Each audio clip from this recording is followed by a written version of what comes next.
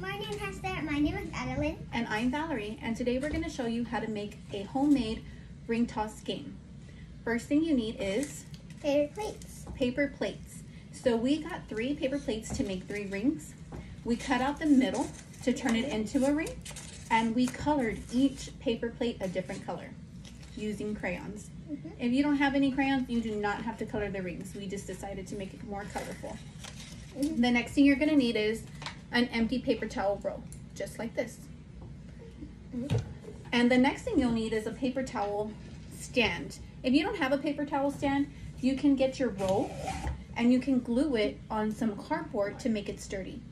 Since I already have this at home, I'm just gonna use the stand that I currently have because it's sturdy enough to keep it straight. So Alan's gonna demonstrate our ring toss game. You ready? Mhm. Step back. You get three tries.